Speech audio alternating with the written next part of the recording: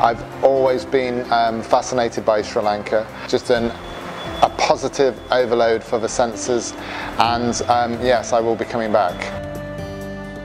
Incredibly good flight. We're traveling with um, our children and it was an overnight flight. So it, it's never, you know, you're always a little bit worried about that kind of flying, uh, especially on quite a long flight. Um, but from the moment we stepped on board, everyone was very helpful. So it was a very positive experience. And for once, the food was good on the plane as well. It's been a very, very um, welcoming and positive experience. I was speaking um, to them and it seemed a very intelligent, alert, audience and very interactive and I really enjoyed myself there.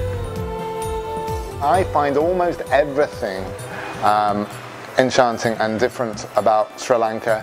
How lovely and warm-hearted and um, stoic and resilient and optimistic the people seem to be.